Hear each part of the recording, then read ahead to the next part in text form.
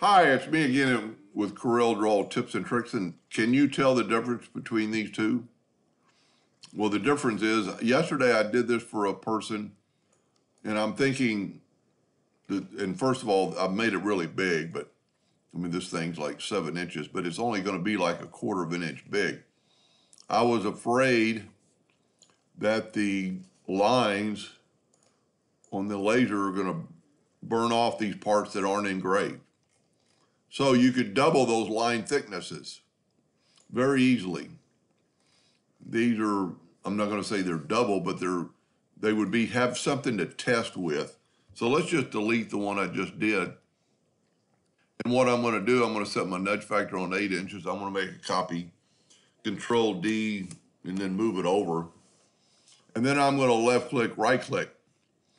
Well, if you group the whole thing together, control G or group, when you go to effects and go to contour, you can contour the whole thing to the inside.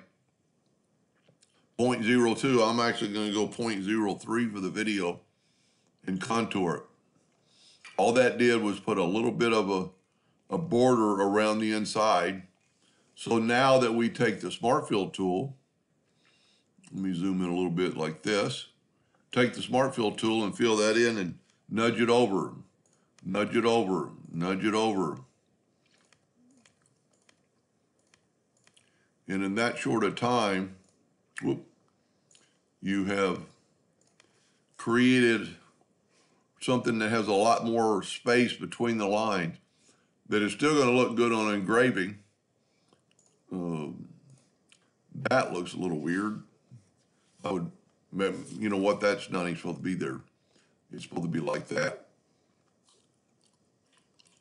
It looks just as good, and especially if you're going to make it really little, it's going to look just as good, if not better.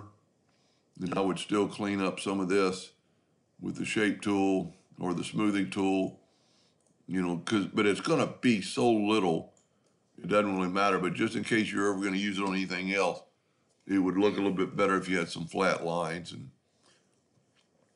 anyway, I hope that helped them a little bit. Thank you for watching.